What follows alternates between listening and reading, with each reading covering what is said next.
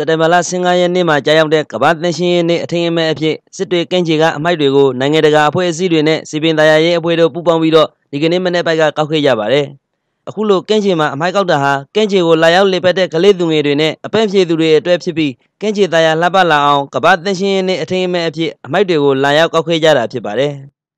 One thing is to clean up the beach. ခုလိုစားပြီးအမိုက်တွေကောက်လိုက်ချင်တာကန်းကြီးတွေတန်ရှင်းတာရသွားတော့ဗောလူတွေလည်းနောက်ထပ်ပြီးတော့အမိုက်တွေဆွန့်ပစ်ဖို့ဆင်ခြင်လာကြလိမ့်မယ်အမိုက်တွေတွေ့ရင်တော့ပြန်ကောက်ကျင်စိတ်တွေဖြစ်လာကြမှာပါ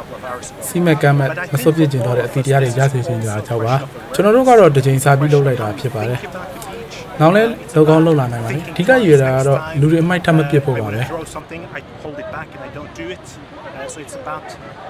Throw something, I hold it back and I don't do it. Uh, so it's about ကမ္ဘာသန့်ရှင်းရေးနေ့အထင်အမဲအဖြစ်အဖွဲ့အစည်းတွေနဲ့ဌာနဆိုင်ရာတွေစုပေါင်းပြီးအမိုက်ကောက်ခဲ့ကြတာဟာဝဲသားစရာကောင်းပြီးအမှန်တကယ်လှုပ်သိမ်းတဲ့အလုပ်တစ်ခုဖြစ်ပြီးနောက်ပိုင်းမှာလည်းအခုလိုမျိုးလှုပ်ရှားမှုတွေကိုဆက်လက်ပြုလုပ်ပေးမယ်ဆိုရင်လူတွေရဲ့အသည့်တွေပြောင်းလဲသွားနိုင်တယ်လို့အမိုက်လာကောက်သူတွေကပြောပါတယ်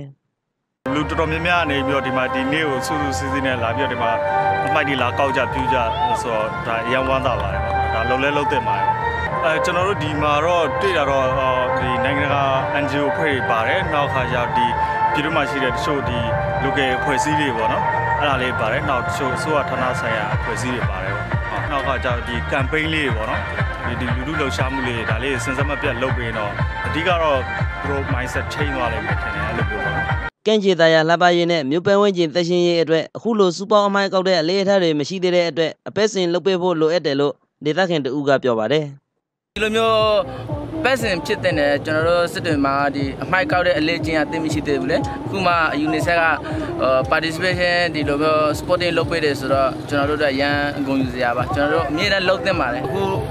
UNICEF နဲ့လာပြီးတော့တတက်တာပိုးပေါင်ပေးတဲ့ကျေးဇူးများတင်ပါတယ်ကျွန်တော်တို့ဒီစစ်တွေမျိုးသူမျိုးသားတွေလည်းကြောက်သူကြောက်သားတွေလည်းဒီလိုမျိုးအမိုက်ကောက်ဖို့အလေးထားတွေကိုလုပ်ပြီးတော့ကျွန်တော်တို့စစ်တွေမျိုးပြပဝန်းကျင်တက်ရှင်းဖို့တာရဖို့အတွက်ကိုကြီးဝိုင်းဝန်းပန်းပို့ပေးကြပါလို့